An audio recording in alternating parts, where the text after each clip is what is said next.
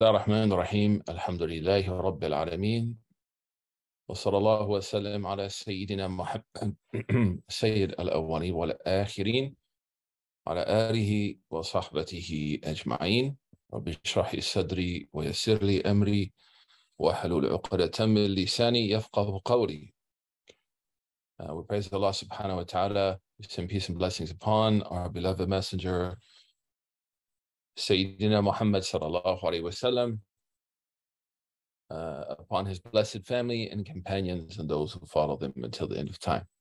Uh, brothers and sisters, assalamu alaikum wa rahmatullah. Welcome to our last gathering, subhanallah, uh, especially for those of mine, since the um, beginning of COVID, mashallah, as well as those who you were regularly at the IC, uh, alhamdulillah, um, before as well as after.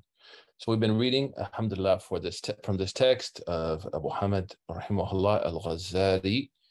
Uh, may Allah subhanahu wa ta'ala bless him and all of us, inshallah. We're going to read a little bit today. And then tomorrow we have our session on Quranic du'as, and then inshallah we'll be there on Friday uh, to say uh, our, our salams to everyone, inshallah. So last time, uh, Abu Hamid rahimahullah mentioned that if we look historically, if we look through history, we can see that um, all fitna, all evil uh, starts with the nafs. And he gives a really powerful example of shaitan, who at that time there was nothing actually to even trigger him externally there was no existential challenges, but his desire for power, his envy, his arrogance, and eventually his disbelief were simply the cause of him not checking his nafs.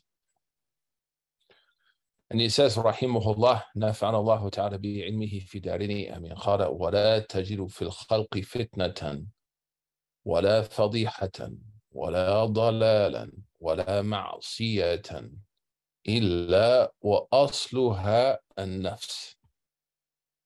the Imam says, and you will not discover in creation any trial or test or an act of misguidance or an act of disobedience except asluha. Asluha its origin is the nafs. Wa huwa wa hawaha and the hawa of the nafs. The hawa are those those things that cause the nafs to lean towards evil. Hawa uh, definition is desires, but sometimes desires can be good. So the, the connotation of hawa is something negative. That's why Allah subhanahu wa ta'ala says, One najmi idha hawa, by the stars as they fall. The original meaning of hawaitu means I came down. That's the literal meaning. The figurative meaning is that when someone follows their desires, they will eventually be brought low. Whether in this world, due to living irresponsibly, or in the next world, or both. Then Sayyidina Imam, he says, وَإِلَّا كَانَ الْخَلْقُ فِي سَلَامَةٍ وَخَيْرٍ If that wasn't the case, there was no nafs, then creation would be in a state of tranquility, peace, and good. وإذا كان عدو بهذا الضرر وإذا كان عدو بهذه الضرر كله فحق للعاقل أن يهتم بأمره. He says, if that's the case with this enemy, the nafs, then it is the responsibility of any intellectual, in, in, in, any intelligent person, any intelligent person, to pay close attention to this thing. the nafs. والله تعالى ولي الهداية والتوفيق توفيق بفضله. That's where we stopped last week.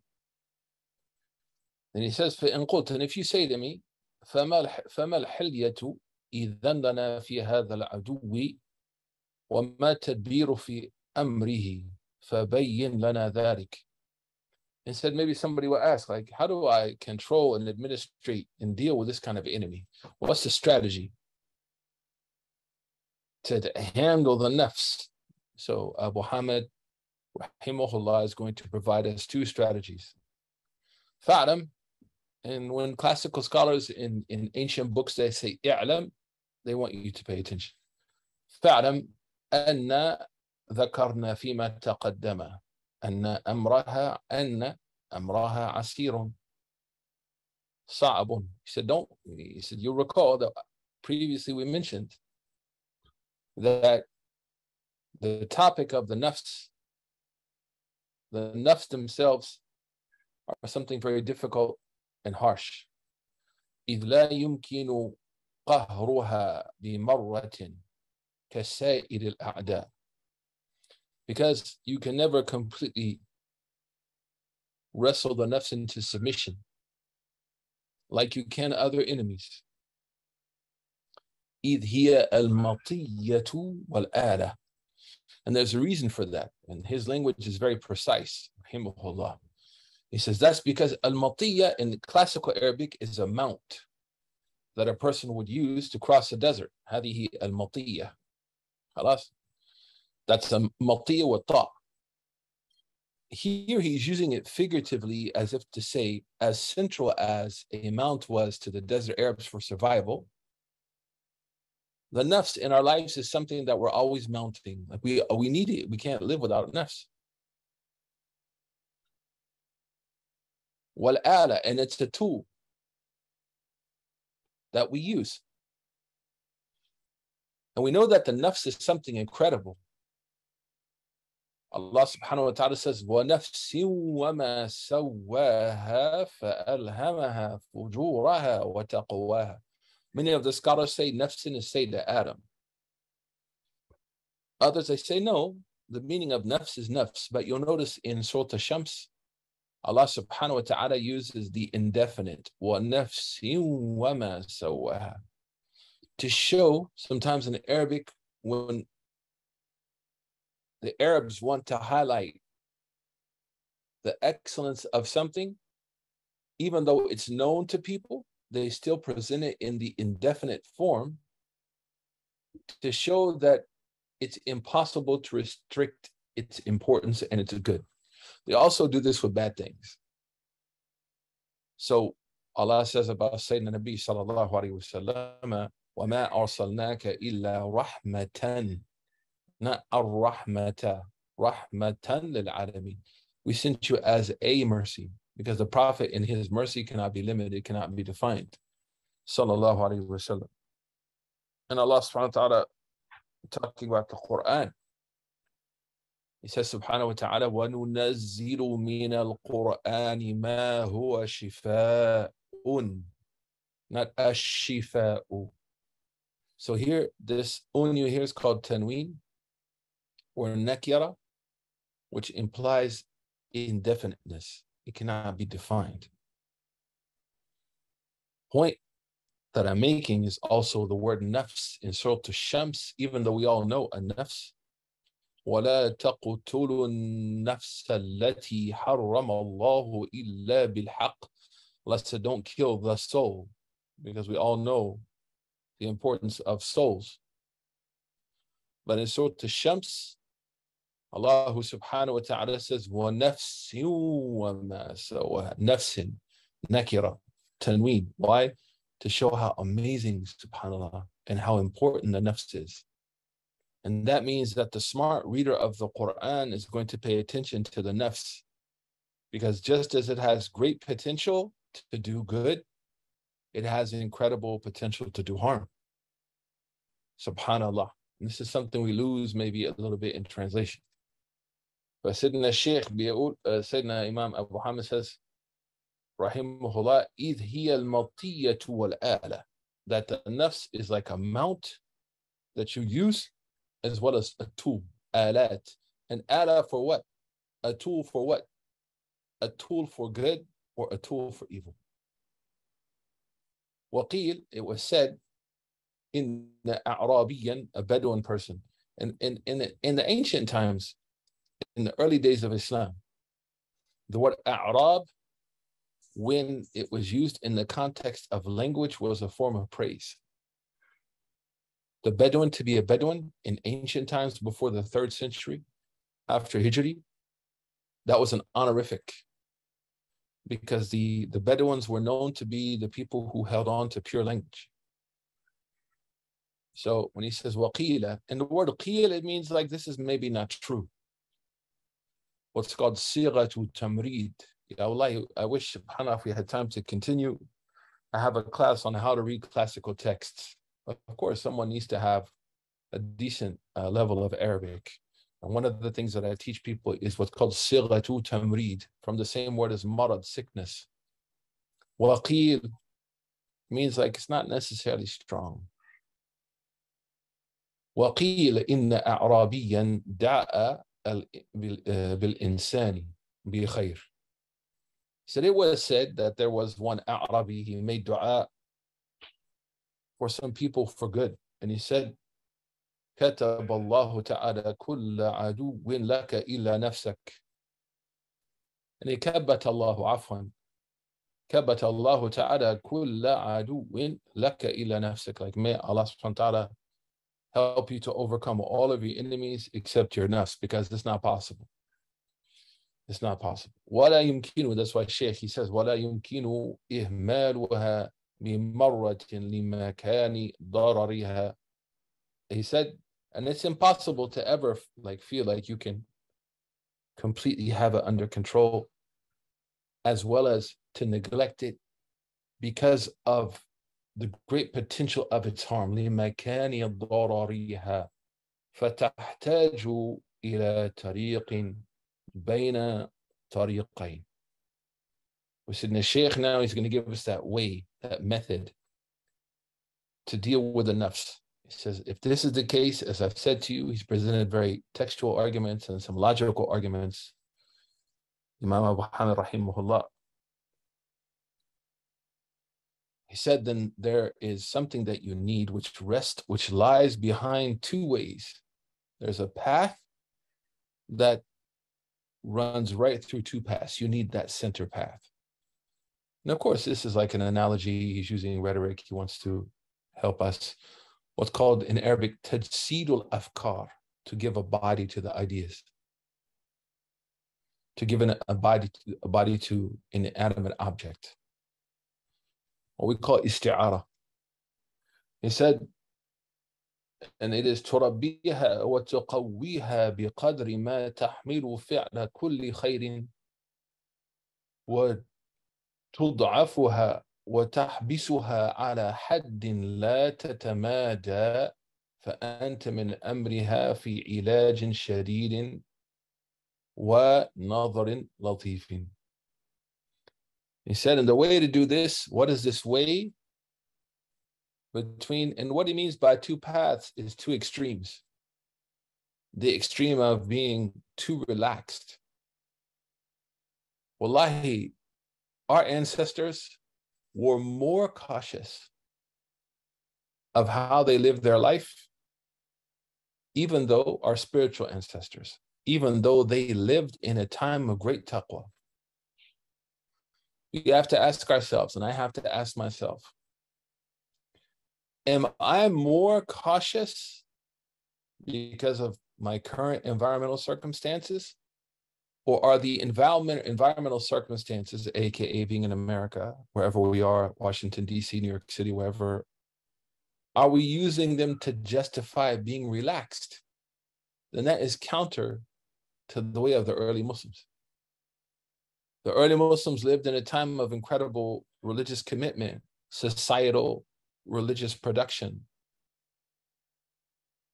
That's why the quality of their religious institutions was very strong religious education was very strong. We can ar- uh, probably say that Muslims are more influenced by things which the early Muslims would see as not important. And today's Muslim may look at the early Muslims and censor them and say, like, you're also influenced by things which today's Muslim may seem see or view as being secondary. But subhanAllah, this is a mistake. We should be more committed to our practice. We should continue to locate faith and worship as an escape from a ever encroaching material world. which is not only impacting what we like, it's also impacting our values, our standards. Mm-hmm. So Imam, that's why the Prophet sallallahu alaihi wasallam said, "Ibadatun fil fitna kal hijrati ilay." This is a good hadith. The Prophet said to worship Allah in difficult times is like making hijrah to the Prophet. At my school, inshallah, in, in the late winter, we plan to do a conference, worship, worshiping during times of fitna. Because we find two extremes. One is, you know, because the world I live in now is so relaxed, then that should drive my religious adherence. So since the world is relaxed, since the world is, is dominated largely by economic heathenry, let me buy into that. The other end, the other extreme that Abu Hamid is talking about is the extreme of being religiously irrational, trying to do more than what the Sharia asks us to do. We find both of these are censored in the Quran. Allah subhanahu wa ta'ala says about the first, وَلَا تَتَّبِعْ أَهْوَاءَهُمْ عَمَّا جَاءَكَ مِنَ الْحَقِّ Don't follow your desires because it will take you away don't follow their desires, it will lead you astray. But the other,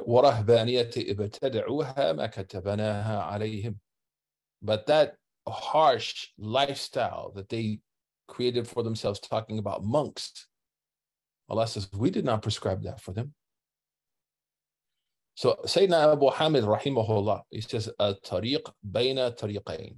He means the path of the sunnah the path of the Sharia, which identifies what's important and the intensity of importance I should give to those things, as well as what's not important.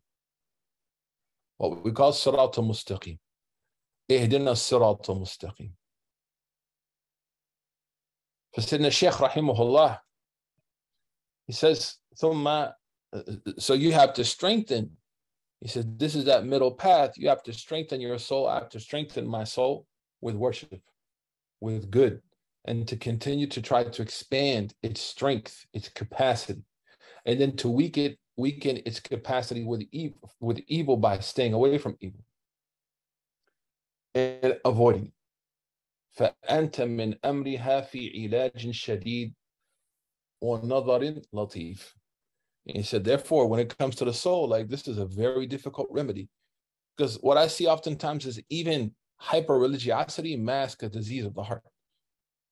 When that man came to the Prophet, وسلم, he said, A'dil ya Muhammad, be just with us. The Prophet said, If I'm not just, who's just? That man thought that he was more just than Sayyidina Nabi sallallahu alayhi wasallam. That's that's crazy. In the name of religion, he actually thought he was more just than the Prophet. On the other end, the people who neglected ibadah.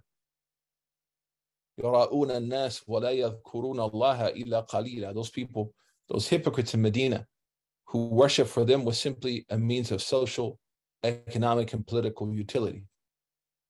So utility. So they were on the other end. Where's the middle?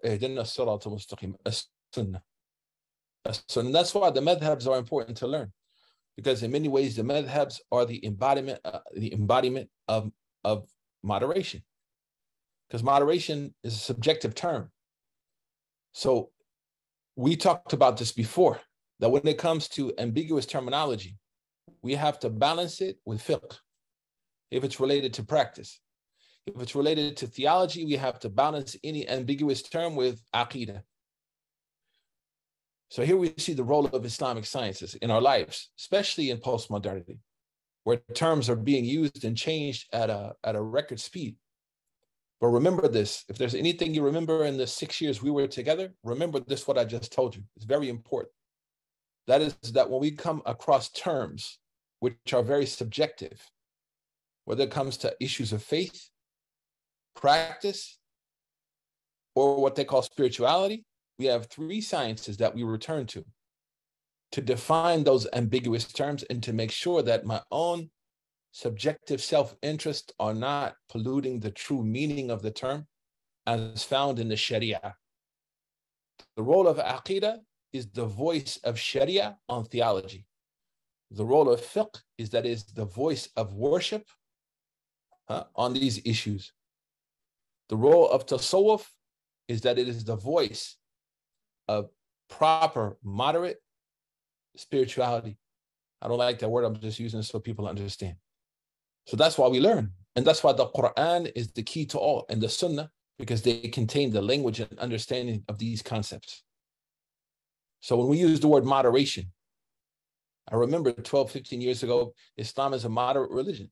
You ask, for example, you know, Daniel Pipes, what does it mean Islam is a moderate religion? Like, as long as people don't pray. That's not that's not moderate. As someone else, they're like, you know, most of the Muslims are astray, all the Muslims are wrong. That's not moderate. So how do we define moderation when it comes to theology? Books of Aqidah, La ikraha fi there's no compulsion in religion. But at the same time, there's principles. لَقَدْ كَفَرَ الَّذِينَ قَالُوا إِنَّ اللَّهَ ثَالِثُ ثَلَاثَ Allah said, those disbelieved who said God is one of three. لَقَدْ كَفَرَ الَّذِينَ قَالُوا إِنَّ اللَّهَ Uzair ibn Allah. Those who disbelieve who say that Allah is Uzair ibn Allah or that Jesus is the Son of God. That, that's a principle. That's moderation. Also with fiqh. So what Abu Hamid is talking about here when he said between the two paths is the Sharia. And the voice, the khitab of Sharia on issues of faith, on issues of devotion, and on issues of spirituality. And that's very important for us as we navigate America. For those of us in the United States, that we shine the light of the Sharia in these different areas. In these different areas. Then he says, Rahimahullah, ثم قد ذكرنا في أمرها أن تلجمها بلجام التقوى. He said, and then you remember that we talked about having to bridle, right? To actually hold back the nafs. Just like a horse is held back. That's called lujam. فَأَلْجَمَ النَّفْسِ بِتَقْوَى اللَّهِ how do we restrain the nafs like we restrain a horse with the reins? With taqwa. And what does taqwa mean? He defined it and he went through it earlier. And taqwa means the obedience of Allah and avoiding sin, coupled with sincerity and faith. Wal wara. This goes back to what I said earlier. What does wara mean? Wara means to be cautious. Because just because something is permissible doesn't make it wise right? We could be tested with the permissible. So al wara means to be cautious. Imam Shafi'i said the wara is to avoid the halal, fearing that you fall into the haram. Now it's the opposite. People don't have a problem negotiating the haram. But the early Muslims, the Prophet said every religion has its own peculiar, peculiar characteristic. And the peculiar characteristic of Islam is al-wara, to be cautious. So then I can use the madhabs. Here we go again. What does the madhab say is makruh? I should avoid that. What does the madhab identify as being haram? I should avoid that. And that's why we have to be very careful when we throw out madhabs. I worry sometimes this language of revival is just masking a serious attempt to undermine the historical efforts of our spiritual ancestors to cut us off from the history of what Muslims have been negotiating and engaging with for almost 1400 years, a little over 1400 years. So if I look at a madhab and it says this is makruh, I should stay away from that as best I can. So I increase my capacity for wara, wara, caution, this is haram. I should avoid that. The Prophet said, What I forbade you to do, you stay away from it. There's no negotiating. That's wara. So the historical legacy of Muslim scholarship doesn't mean that it's perfect. We should look at it constructively. And if we're scholars, we should look at it critically. But in general, it has negotiated many of the questions that we have today, and it's told us where to be cautious and where to be relaxed. لتحق لتحصل الفائدتين جميعا. نعم.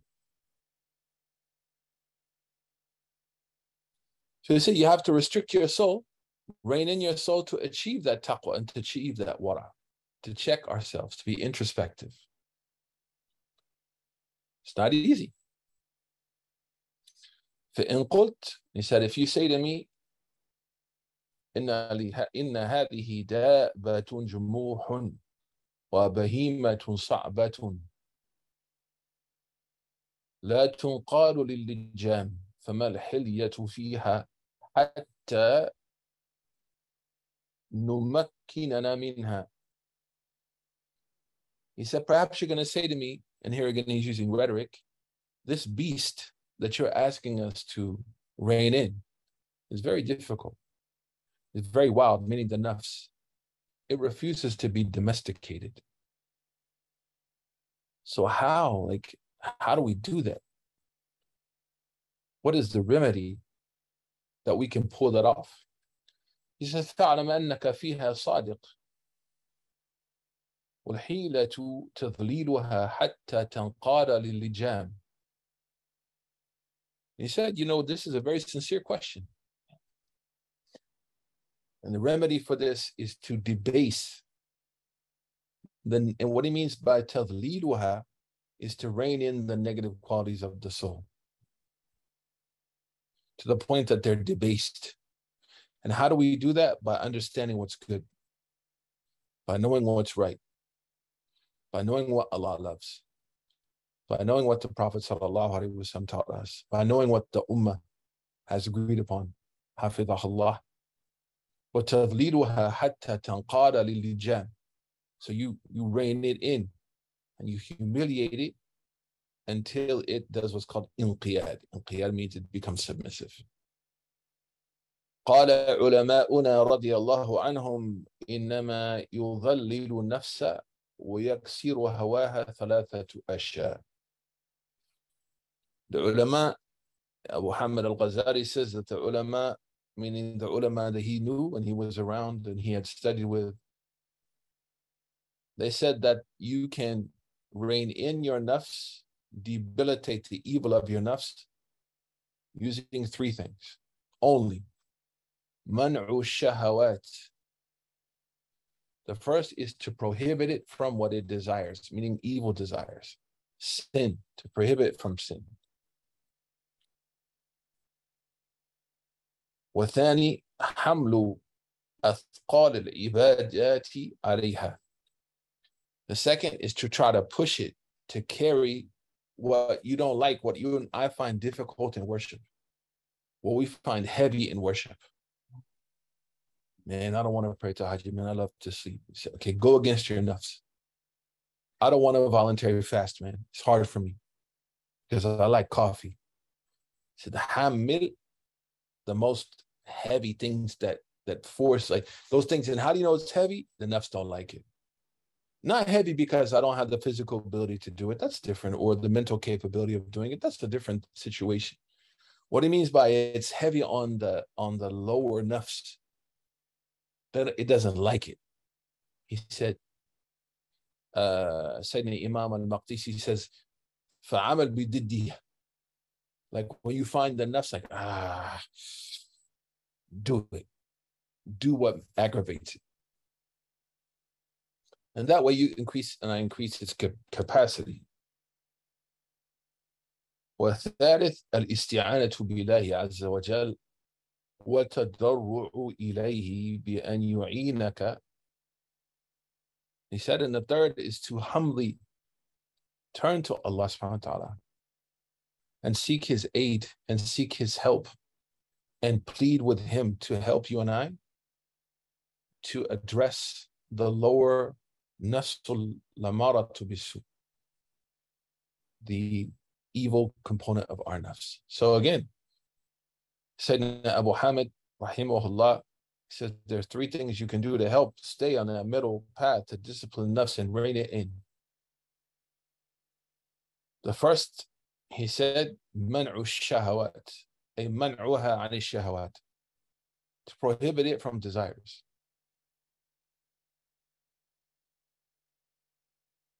The second, he said, rahimahullah, حمل أثقال العبادة. حمل أثقال العبادة عليها. To push it to observe. Those acts of worship which the soul finds difficult. والثالث الاستعاذة بالله عز واستعانة بالله عز وجل. وتضرع إليه بأن بأن يعينك. على ذلك. Third, he said is to seek Allah's help and to humbly plead with Him for His assistance. وإلا because without that فلا مخلص أن تسمع قول يوسف عليه السلام إن النفس الآمارة بسوء إلا من رحم ربي There's another قراءة سيدنا قالون إن النفس الأمارة بسوء إلا ولا إلا ما رحم ربي. فإذا وظبت على هذه الأمور الثلاثة انقادت لك النفس الجموح بإذن الله عز وجل فحينئذ تبادر أن تملكها وتلجمها وتأمن من شرها. Says, so if you stay consistent on those three things, and I stay consistent on those three three things, interrogating ourselves and avoiding the evil that our nafs want, pushing ourselves to worship when our nafs become uncomfortable,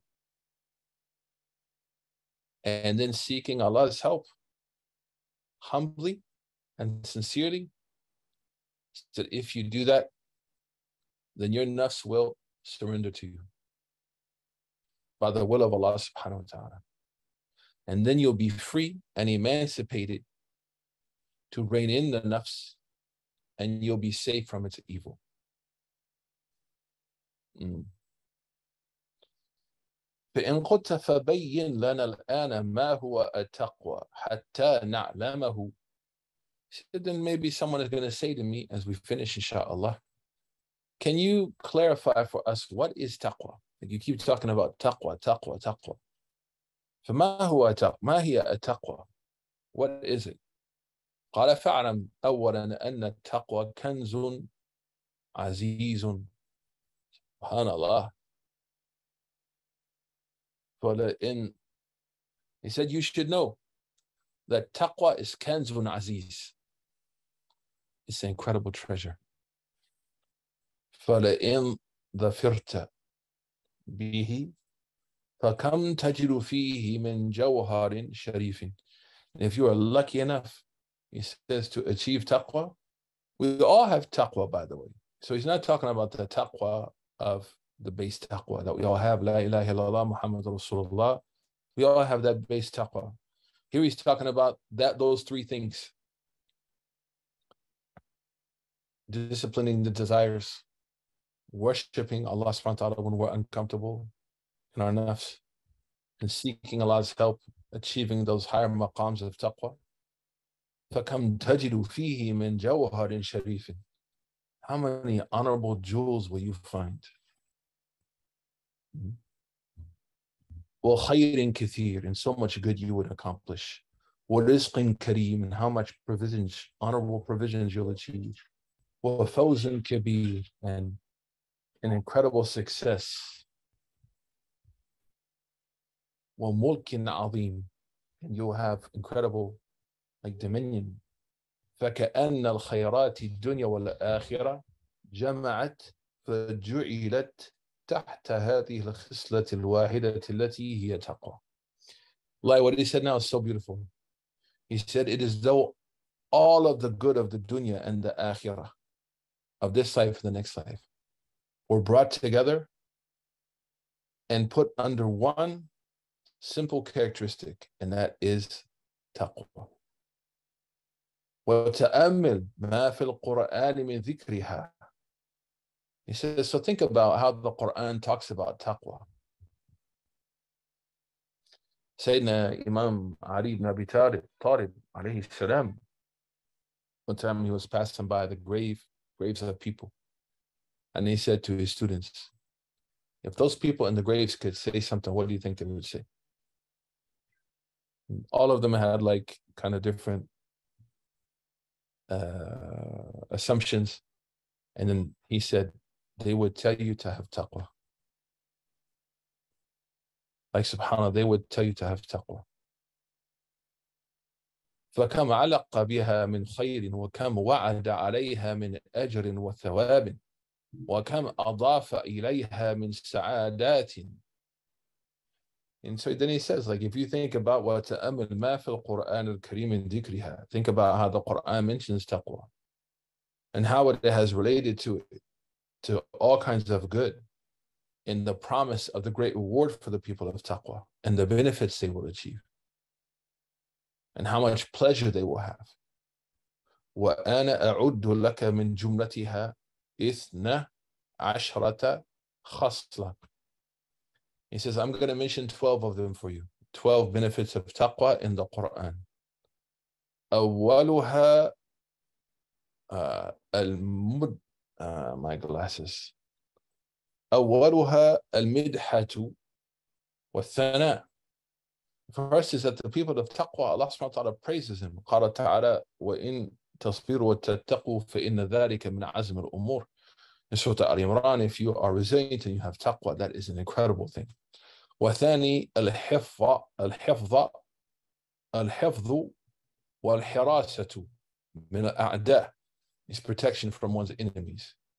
وإن تصبروا وتتقوا لا يضركم كيدهم شيئا Again, Surah Al Imran, if you are resilient and you have taqwa, their plots will not harm you in any way. وثالث التأييد والنصرة The third is the help of Allah. إن الله مع الذين اتقوا والذين هم محسنون. Allah is with the people of taqwa and He's with the people of good. قال سبحانه وتعالى والله ولي المتقين. Allah is the aider and helper of the people of taqwa. الرابع النجاة من الشدائد ورزق من الحلال is that a person will be saved, they will achieve salvation from difficulties and hardships, and that they will have halal provisions. قال الله تعالى, Allah says, وَمَن يَتَقِ اللَّهَ يَجْعَلْ لَهُ مَخْرَجًا وَيَرْزُقْهُ مِنْ حَيْثُ لَا يَحْتَسِبُ Whoever has taqwa, Allah subhanahu wa ta'ala will provide that person an exit strategy out of any situation and provide for that person where they would have never assumed. The fifth is that taqwa helps us rectify and reform our deeds. قال الله تعالى يا أيها الذين آمنوا اتقوا الله وقولوا قولا سديدا يصلح لكم أعمالكم. O you who believe, O you believers, have taqwa and speak the truth, Allah will rectify your deeds for you. The sixth, غفران الذنوب. The sixth is forgiveness. قال الله تعالى ويغفر لكم ذنوبكم. Whoever has taqwa, Allah subhanahu wa ta'ala says, He will forgive their sins. والسابع محبة الله سبحانه وتعالى, the love of Allah. إن الله يحب المتقين. Allah loves the people of taqwa. وثامن القبول. She's okay, no problem. Let her, let her, let her be a, a, a kid. It's okay, yeah. It's okay. You can shut the door if you want to. Thank you. You have to let kids be kids, man. وثامن القبول the eighth Allah subhanahu wa ta'ala will accept that person إنما يتقبل الله من المتقين indeed Allah only accepts from the people of taqwa والتاسع الإكرام والإعزاز في الدنيا والآخرة honor and the recipients of generosity in this life and the next قال الله تعالى إن أكرمكم عند الله أتقاكم Surah Al-Hujurat that we explained here in ICNYU, the tafsir Surah Al-Hujurat, alhamdulillah. Indeed, the most honorable of you to Allah, the people of taqwa. والعاشر البشارة عند الموت. is that at the time of death, a person will receive glad tidings from the angels. قال الله تعالى الذين آمنوا وكانوا يتقون لهم البشرى في الحياة الدنيا وفي الآخرة سبحان الله Think about, mashallah, Sheikh Muhammad Sharif. Ask Allah subhanahu wa ta'ala يتغمد يتغمده برحمته وأن ينور قبره وأن يغفر له ذنوبه وأن يحفظ أولاده وأسرته Subhanallah, you know, I heard from Sheikh Abu Isa Ni'matullah in his recording that Sheikh Muhammad Sharif, he died in Salah. Yani initially, he, didn't die in the Salah. He, he, he had his first struggles with life in Salah, Salat al-Maghrib, on Yom al-Jum'ah. And he was buried on Yom al-Jum'ah. And there's hadith, the person who dies on the night of Jum'ah is guaranteed Jannah. This hadith is sahih. And the night of Jum'ah for us starts the Maghrib. For us on Thursday, that Maghrib actually is the beginning of Jum'ah. Maghrib to Maghrib. فنسأل الله سبحانه وتعالى أن يجعل شيخ محمد شريف من الذين بشروا بمكانهم في الآخرة عند الله. So al-bushra, so the time the person dies, they will be greeted by those malaika. They will say, Salamun alaykum. الذين آمنوا وكانوا يتقون لهم البشرى في الحياة الدنيا وفي الآخرة. لا تبديل لكلمات الله. ذلك الدين قيم ولكن أكثر الناس لا يعلمون. سبحان الله. The 11th النجاة من النار. To be safe from hellfire. Allah subhanahu wa ta'ala says, ثُمَّ نُنَجِّي الَّذِينَ اتَّقَوْا Then we saved, we granted salvation to the people of taqwa. وقال سبحانه وتعالى وسيجنبها الأتقى So to Layl, we will save those people of taqwa from hell. والثاني عشر الخرور في الجنة The twelfth to reside forever in Jannah. قال الله تعالى Allah said Jannah أعدت للمتقين. Jannah was prepared for the people of taqwa فهذا بيان كل خير وسعادات في الدارين تحت هذه التقوى. فلا تنسى نصيبك أيها المسلم منها. So he said, these are the guarantees of taqwa in this life, in the next. So do not be negligent and forget your portion of that good, O Muslim.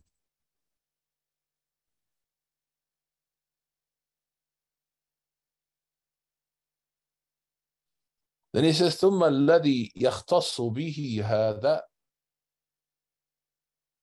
الشأن من أمر العباد من أمر العباد ثلاثة أصول. Then there are three things, more or less, that are going to help a person, a servant of Allah, stay on the path of taqwa, to control the nafs. Remember the context here. أحدها التوفيق والتأييد أولا. اللهم زدنا توفيقا وتأييدا يا رب العالمين. The first is that Allah subhanahu wa ta'ala guides the heart of that person and assists that person internally and externally. إياك نعبد وإياك نستعين. قل هو الرحمن وآمنا به وعليه توكلنا. Quran says. وهو للمتقين كما قال الله سبحانه وتعالى إن الله مع المتقين. So one of the, the signs in our life that is what he's saying here. ثم الذي يختص به هذا الشأن من أمر العباد. There are three things that are specific to the servants of Allah. when it, it comes into the context of taqwa. And the first is that they find Allah subhanahu wa ta'ala has given them tawfiq wa ta'eed, facilitation. What does tawfiq mean?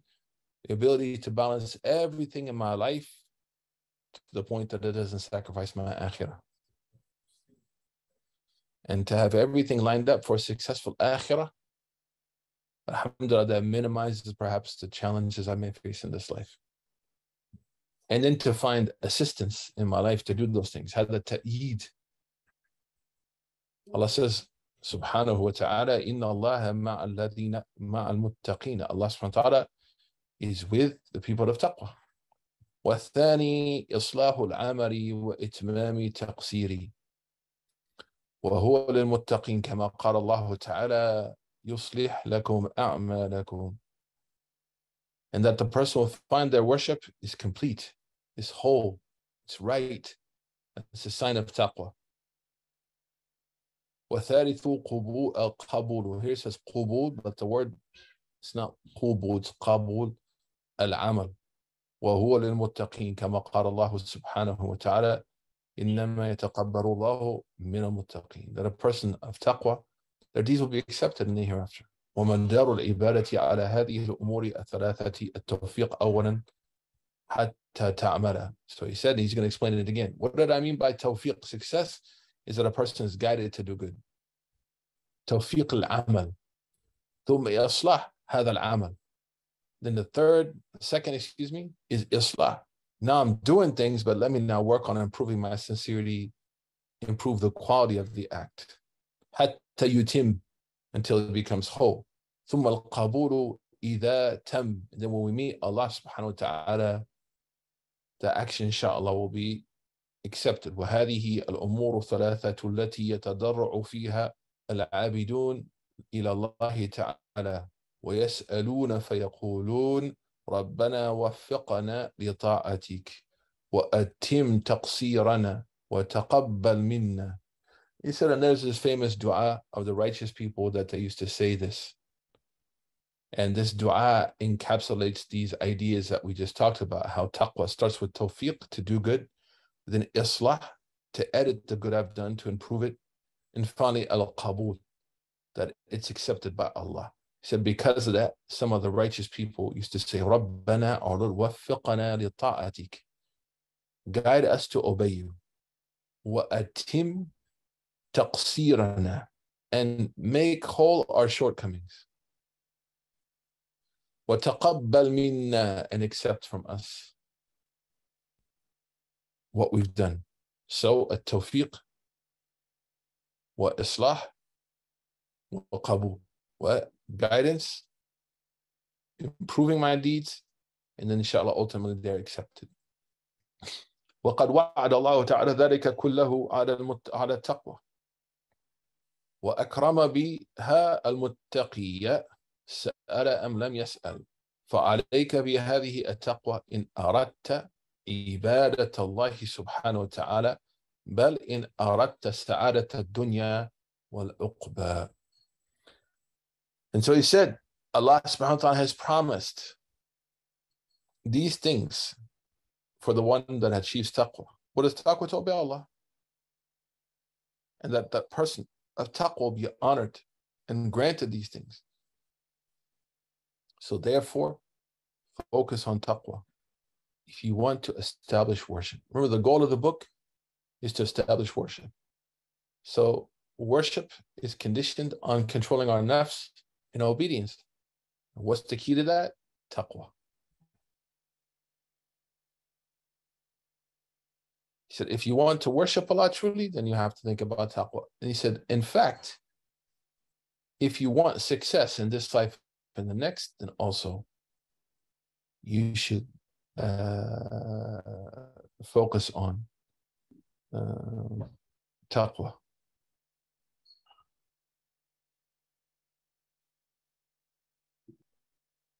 نعم